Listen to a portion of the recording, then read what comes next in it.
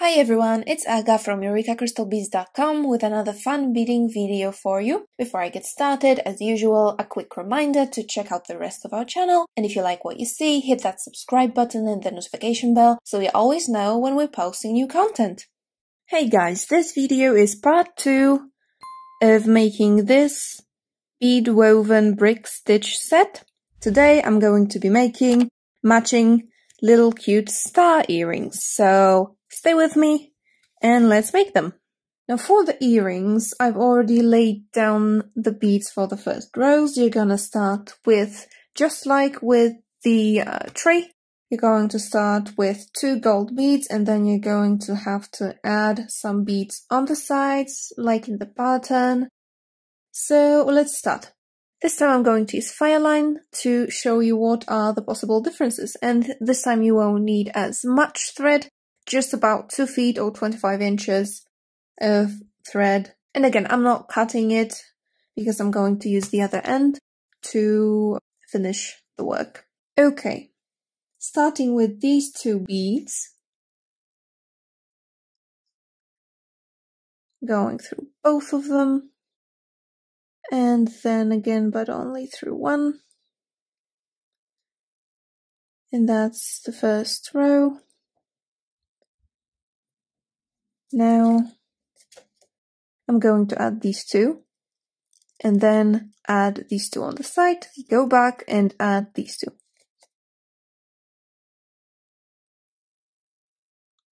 Going under the thread bridge, up through the white bead, or the second one that I added, and then I go back through this first bead, and adding two more on the side. Using the ladder stitch so adding one. Going back through this previous bead. Going up. Through the bead that I added. I like to hold it all together because with Fireline it's easier to get it all loose. Okay now I go through this bead again to get to the other side of this row and I go back to add the beads on the other side.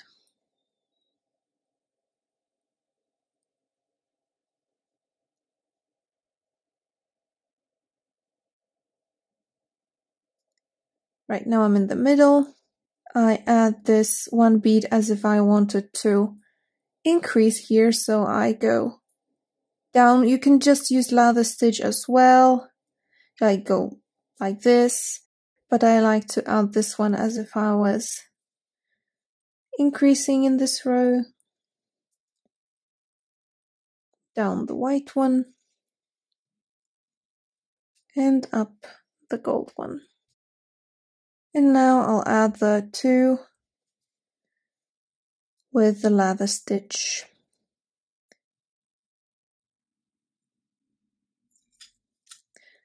What I do additionally to make it nice and stiff is I just make this round again. So I go back up the previous bead and down again through this bead that I added. And again I add the second bead now and I just make another round. And I need to end up coming out of it. So I just go up. Now for the next row I am decreasing. So there's one gold four whites and one gold so I'm adding one gold and one white, the first two beads in the row. I'm skipping the first thread bridge and I'm going under the second thread bridge. Right there, up the last bead, and just to make them nicely lined up, I make another circle through them. Like so. And another three white beads.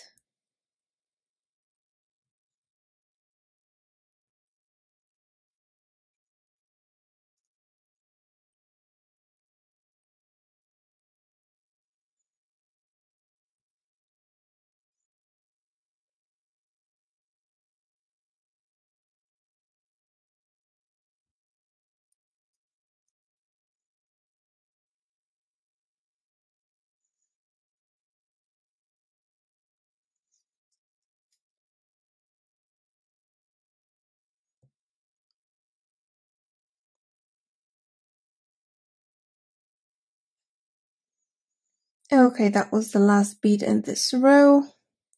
I turn my work over. Now another decrease, so one gold, one white. I skip one thread bridge. I go under the second one, like so. I make a circle through them just to make them all stand up nicely. And here I have one gold bead in the middle.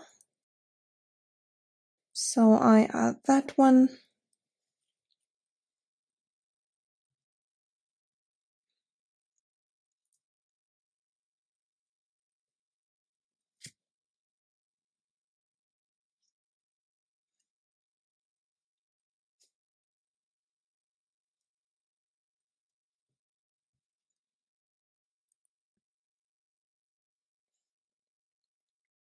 Now that was the last bead in this row and the last bead where I was decreasing. Now I'm going to increase.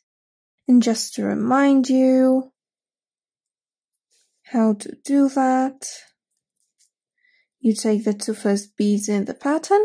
In this case, it is one gold, one white, just like in here. And you go under the first thread bridge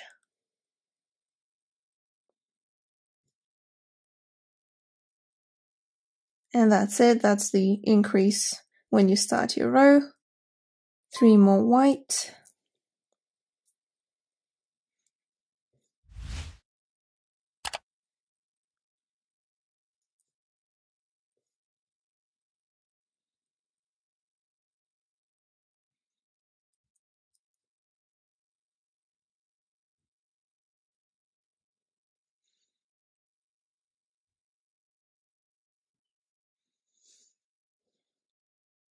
Now to increase as you finish the row, just like before, you go down the last beat in the previous row, go up the next beat and diagonally. The beat in the current row, down the next beat, and up the last beat in the new row. And now we do it again.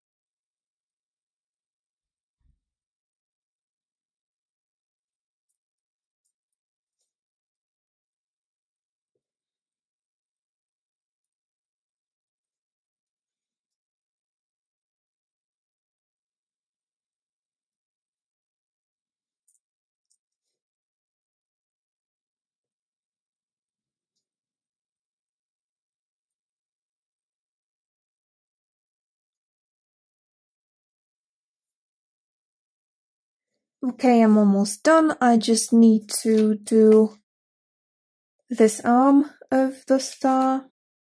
So I need to add two gold beads in the middle. So I just need to get there. So I go one down in the row that I just made and one up. And I add the two gold beads and I skip this nearest thread bridge and I just go under the next one. And up this last bead. And what I do now is I'm going to go through this second bead under the thread bridge in here and up through that bead And now I'll add the beaded loop made out of size 15 beads, just like before. I'll add one Toho treasure bead, five size 15 beads, like that. And I'll go back through the side, through the Toho treasure bead. And just now I'm going to go under the thread and back. Oh, come on. And back up the entire loop.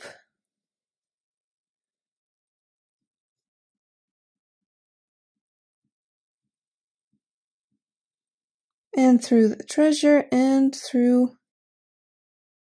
the other of the Toho treasures underneath. And just to be sure, I'm gonna go through all of them again. Now I'll finish my thread just like before by making a tiny little knot and going through several more beads.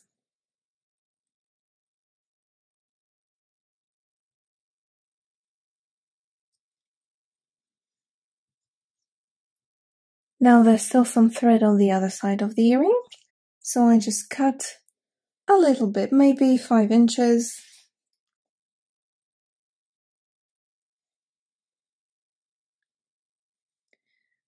And I just add one Toho treasure bead and put it at the end, like so. And I'll go through it again.